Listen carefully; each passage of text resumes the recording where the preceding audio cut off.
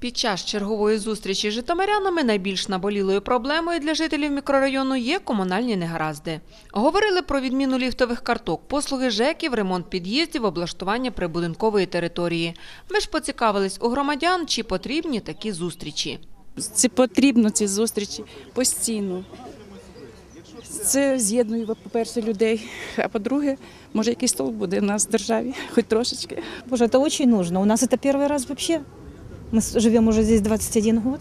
І народний обранець Геннадій Зубко і житомиряни кажуть, такі зустрічі – це зворотній зв'язок. Цих зустрічей не так багато, але хотілося б, щоб було більше, щоб трошки ці люди, які при владі трошки бачили більш такі, як, як сказати, сьогоденні проблеми, які кожен день люди, люди з ними стикаються. І якось більше до цього ставились від, більш відповідальніше. Все-таки ми їх вибирали, то хочеться б мати якийсь результат.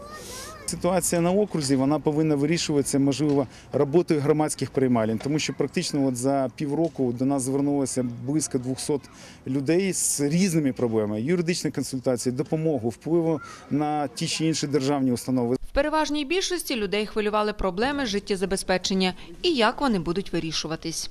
Це та робота, якою повинен займатися депутат. Тому, от якщо вибудована комунікація, так і через громадські приймальні, і через зустрічі з виборцями, і через звітування прямо у дворах, це та річ, якою повинен ну, депутат просто отримувати зворотній зв'язок від своїх, е, е, ну я б не сказав мешканців, від своїх громадян. До людей треба йти, з людьми потрібно спілкуватися і отримати зворотній зв'язок. І якщо люди кажуть про те, що вони не задоволені, то потрібно ці проблеми не так сказати, заховувати або приховувати, а потрібно їх просто починати вирішувати.